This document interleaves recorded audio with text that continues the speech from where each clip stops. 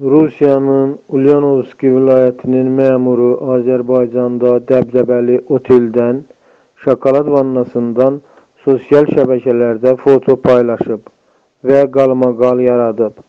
Big Az Virtual Orqa istinadən xəbər verir ki, regionun korporasiyasının rəhbəri Svetlana Upenşeva ötən həftə Azərbaycanda məzuniyyətini necə keçirtdiyi barədə Instagramda paylaşdığı fotolara görə işdən azad edilə bilər.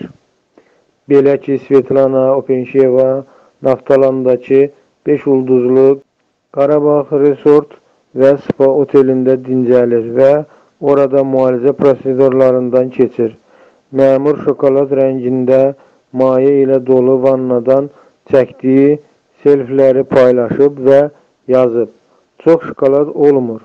Həmin vannadakı maye isə belə görünür ki, naftalan neftidir." Məmur onu şokolada bənzədib.